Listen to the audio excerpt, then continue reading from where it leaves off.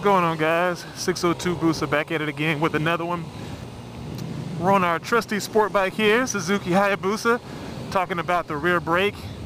And it's funny because when people talk about rear brakes on sport bikes, they're just something that aren't used.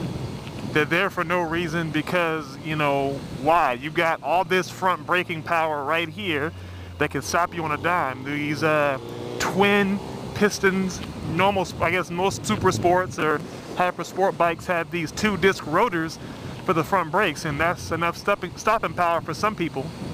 And that's enough stopping power for some people that uh, feel that only the front brake is necessary. But I'm here to tell you right now, you gotta use your rear brake.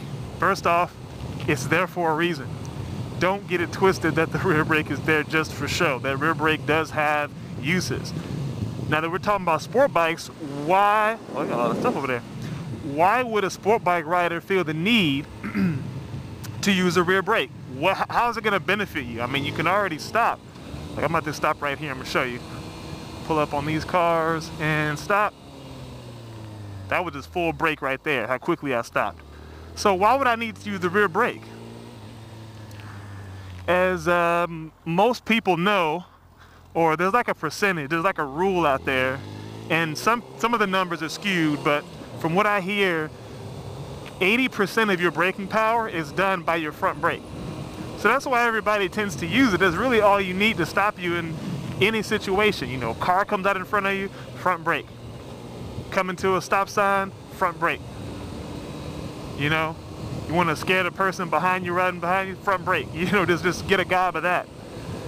But the truth about the rear brake is that while it does 20% of the work, it's still important if you apply both brakes, it's gonna get you to stop faster than just the front brake alone. I mean, no one can deny that. You can't tell me that, okay, I'm gonna grab some front brake and that's gonna stop me just as fast as using both brakes. No, not gonna happen, not true. Using both brakes is gonna give you 100% stopping power. So I don't see why people don't use it. You know, when people say, yeah, I don't, I don't use my rear brake, you know. And I hear a lot of reasons why people say they don't use their rear brake one of the biggest reasons that I hear, especially from sport bike riders, why they don't use their rear brake is because they feel that if they use it, it doesn't do much. It doesn't have enough stopping power. Well, you're right. It's not going to have enough by itself. Like right now, I'm going to use the rear brake to try and stop. And I can use it to stop. The rear brake works. I mean, if you mash down on it, it'll work. But if you're at speed going 50, 60 plus miles an hour, that rear brake isn't going to stop you as much as your front brake. That much is true. But when you combine them both together, it makes it that much better. So yeah, you're right, it doesn't have enough stopping power. That's why you have to use it in conjunction with your front brake. Rear brake alone is not gonna stop me if this car right here just comes to a stop. I gotta use both. I can't just rear brake it. I mean, I'll slow down, but I'm not gonna stop nowhere near as fast if I use both brakes. So when people say it's not enough braking power, you're right, it's not enough. That's why you got two brakes. Use them both. I don't understand why, you know, people feel that it's not necessary, but trust me, it works once you use the brake properly. Yeah, so don't feel that the brake, so don't feel that the rear brake just isn't powerful. It's, you know, it's, again, it has to work in conjunction. You got to use them together. Another issue people talk about when it comes to the rear brake is that well, I always have to like, you know, press on it so hard just to feel like it's braking. You got to remember again, that goes into the same thing. The rotor in the rear tire is much smaller than the front. It's not going to have the same stopping power. And plus you've got two large rotors up front. So yes, you're going to have to really mash on it for you to be able to feel it by itself. So yeah, that's, so yeah, you can get the rear brake to stop your bike quick, but you're to slam on it. And that leads into something else a lot of people don't like to use the rear brake because they feel it locks up the rear tire. You know, just to, you know, in a panic mode, you know, people just like grab a bunch of front brake and grab, you know, and just slam on that rear. I mean, that's what people do. When they panic, what a lot of people do, a lot of riders, what they do is they'll panic and they'll slam on the front brake and then they'll go over the front. Well, what happens if you slam on your rear brake? well, that rear tire is going to lock up. It's going to start sliding, fishtailing. It's going to send you wobbling like this, you know, oh, like that. You start wobbling like crazy. That rear is going to fishtail. So what do you think is going to happen if you slam on that rear brake? Well, it's going to fishtail.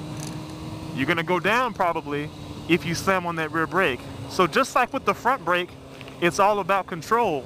You have to know how to use that brake so that way it'll be effective. It's just like riding your bike. The only way you're gonna be able to ride effectively is by proper technique. A lot of people don't have the proper technique, so they say they don't use it, which is sad. So the truth is, is you shouldn't have to fear your rear brake. Your rear brake is not your enemy. It's also not something on your bike that was just put there as an afterthought. It's there for a reason. And you got good uses out of your rear brake. There's good times to use your rear brake. I know personally when I'm in parking lots and I'm doing some low speed maneuvering through parking lots, I use my rear brake all the time because that's plenty of power for me to be able to stop my bike, to make little adjustments, and I don't have to take on gobs of front brake. I could just take my time and use that rear brake. That's a perfect opportunity to use it, especially on a sport bike, especially one as big as this. You don't need to have a huge brake to stop your bike if you're going 5, 10 miles an hour. Your rear brake should be just fine for that. So don't think that you have to use your front brake for everything. You can use it especially in parking lots. Another good time I like to use it is if I want to fine tune my angle in corners. The last thing you know that you got to do, which everybody knows, this is like the golden rule, the last thing you want to do is be in mid-turn, 45 degree lean angle, and slam on that front brake. That's the last thing you want to do.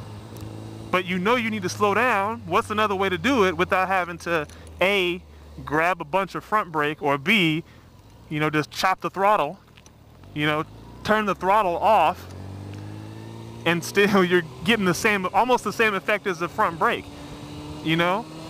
You're gonna lose a lot of that, uh, you're gonna lose a lot of your traction by just cutting off the throttle. You wanna keep it smooth, so what can you do? use the rear brake. Just a little bit. You don't even need a lot. Believe me, that will help you.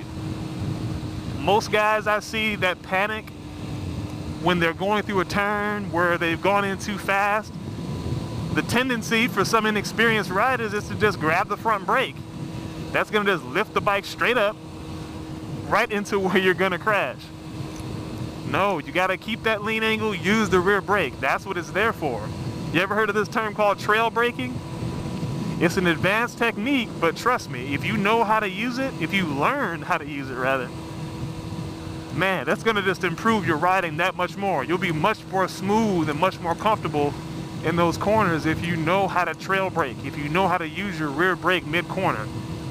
If you have to use a rear brake, that's the one you wanna use if you're mid-corner. So again, you got a couple of good uses out of using your rear brake. In fast situations and in slow situations, you can use your rear brake.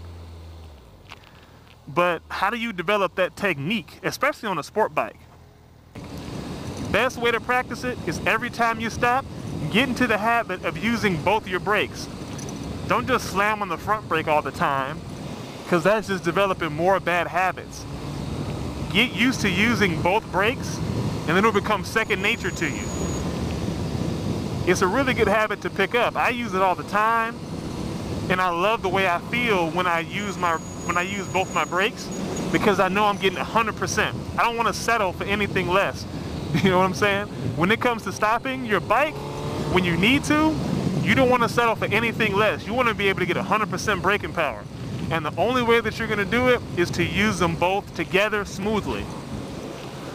And when we're talking about together, I'm not talking about front brake and then rear brake, you know, second. You got to get used to just hitting them both at the same time. Get used to that. It'll come like second nature like this, this curve right here, use your rear brake in the middle of the turn. If you went in too hot. Perfect example. So don't be afraid to use the rear brake. So whatever sport bike you ride, whether it be a super sport or a hyper sport, whatever sport tour, use that rear brake.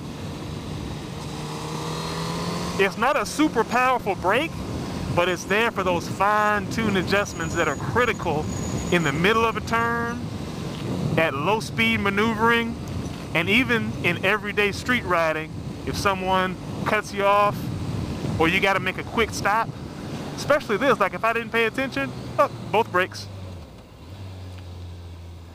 Boom, I'm safe.